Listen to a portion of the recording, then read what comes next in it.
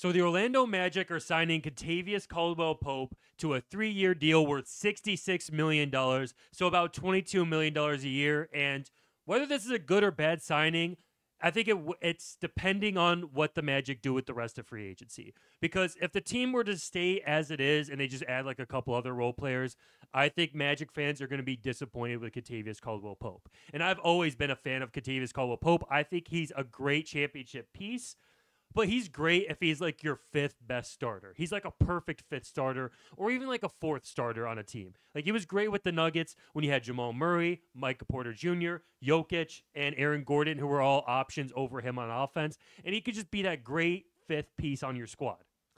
But if you're the Magic, your biggest problem was not having um, a good defensive two guard that can knock down an open three. The threes will help, but your biggest problem – it's just overall bucket getters and just creating offense. Because you have Paolo, who's, you know, a great young star player for them, but he's not necessarily a, a, shot creator in terms of a guy that can create on every level of the floor.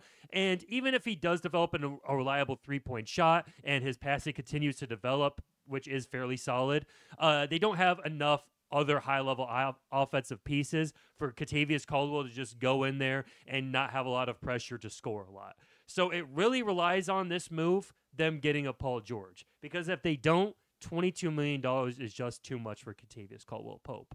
But if this is a move to try and lure Paul George and say, we are serious about winning now, yes, we have young pieces, but we also have a real championship piece that's done it as a starter with multiple different teams, you could come here and win now then it will end up being a good move. So it really depends on that for the Magic. For the Nuggets over there in Denver, now the pressure's on them a little bit for losing him because they already got knocked out this year in large part because they weren't able to hold on to Bruce Brown. And when things started to go bad in game seven, they didn't have anyone to come off the bench and give them a spark.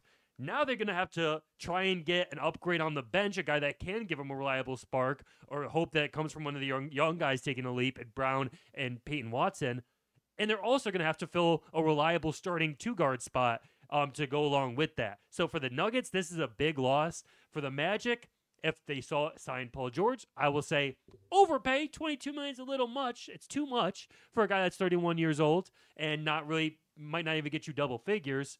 But it's worth it if it helps you get Paul George. If you do not get Paul George, this is a bad signing and it is not even a good fit because they need bucket getters, not off ball can knock down an open three point guy. They need a guy that can create offense and really get buckets. So if they get that with Paul George or a guy at that level, good signing. If they don't, can't get with it.